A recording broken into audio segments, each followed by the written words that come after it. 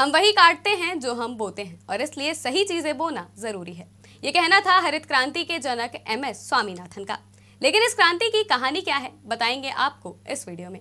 नमस्कार, मैं महिमा शर्मा, स्वागत है आपका आज की खबर में।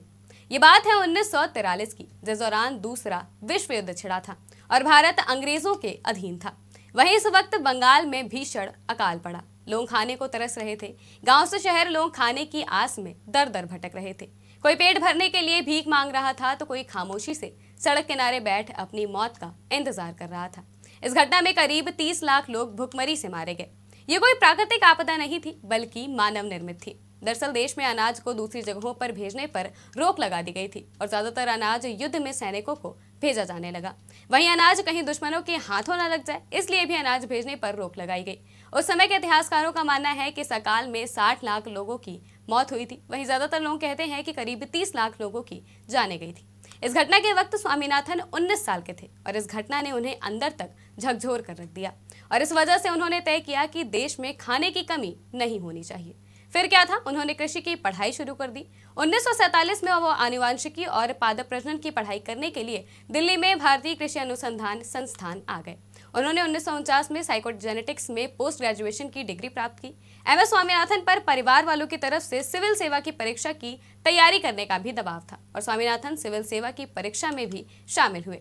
वहीं भारतीय पुलिस सेवा में उनका चयन भी हुआ। लेकिन उसी दौरान नीदरलैंड में अनुवांशिकी में यूनेस्को फेलोशिप के रूप में कृषि क्षेत्र में उन्हें एक बड़ा मौका मिला।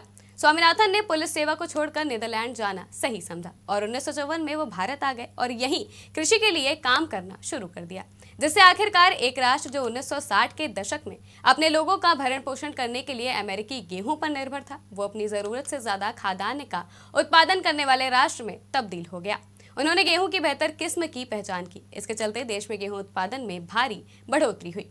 साथ ही उन्होंने भूमि बंटवारा, सिंचाई भूमि उत्पादन सुधार, खाद्य सुरक्षा, कर्ज वितरण प्रणाली, किसान आत्महत्या रोकने में सराहनीय काम किया।